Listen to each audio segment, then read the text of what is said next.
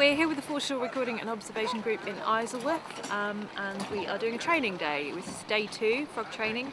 Um, hopefully it's warmer and sunnier than it was at Custom House. We're going to be working on a causeway and a slipway.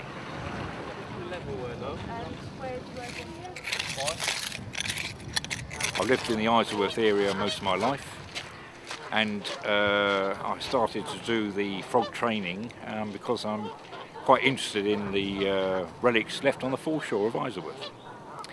And thus far I'm quite enjoying what I'm doing and what I've been trained by these expert archaeologists.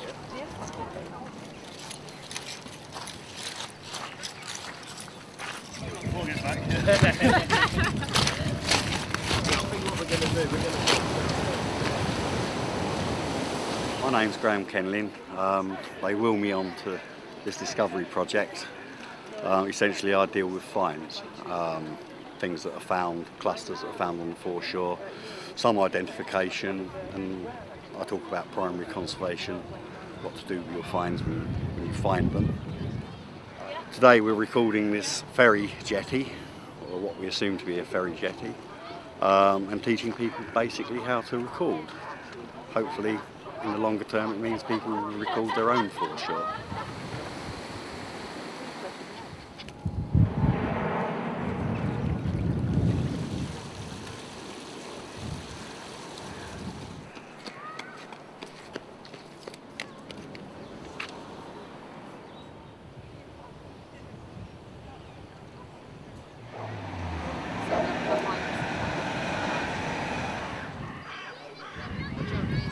Hi, I'm Marina. Um, I got involved with the Thames Discovery Programme because I'm interested in the archaeology of London and I've never had the opportunity to dig here before or do any surveying, so um, I wanted some more experience of it.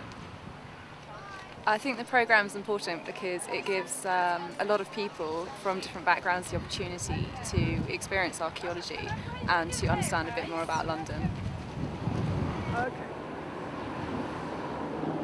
We've just gone to the foreshore and we've been having a little look around and we've found our first evidence of prehistoric occupation and in the form of a flint flake or blade. We can't be certain for sure but it's probably going to be Mesolithic or uh, Neolithic in age. So somewhere between 8,000 maybe 3,000 BC, something like that.